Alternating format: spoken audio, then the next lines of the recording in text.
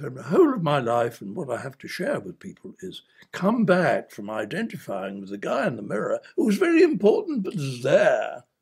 Come back from him there to hear his origin, which is exactly where you are. So my big question really is not nowadays, not who you are, but where are you?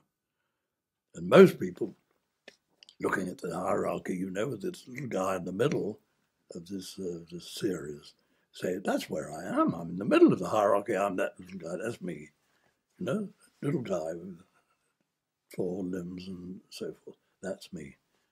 And in fact, I say that that, that is not me because it's right, it's right out there, as far away as the mirror is, as far away as you are. I'm here, and here I'm not like that. So it seems to me that we have, when we join the human club, we become eccentric by about a meter. And we lose touch with our source, and we lose the meaning of our life, and we are in deep, deep trouble.